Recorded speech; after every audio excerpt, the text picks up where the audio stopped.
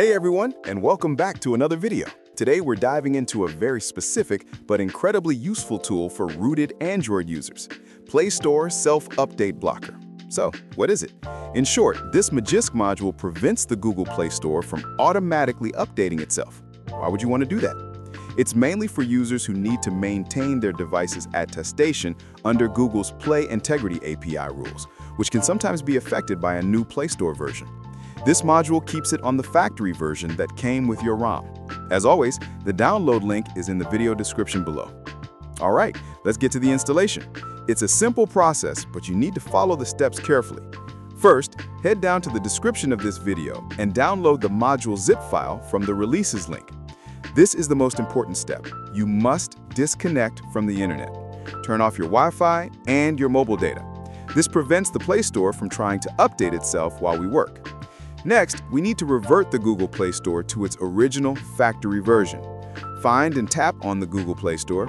As I just installed this GSI ROM, so I'm not going to uninstall the version as it's not updated. Tap the three-dot menu in the top right corner and select Uninstall Updates. Confirm by tapping OK. Your Play Store is now back to its base version. Now open Magisk. Go to the Module section, tap on Install from Storage. Navigate to your Downloads folder and select the Play Store Self-Update Blocker zip file you downloaded earlier. Once the flashing is complete, do not open any other apps. Just tap the Reboot button that appears. Warning, this tool is for educational and experimental purposes only. You use it at your own risk, and it's your responsibility to comply with local laws and app policies. Let's quickly cover its key features.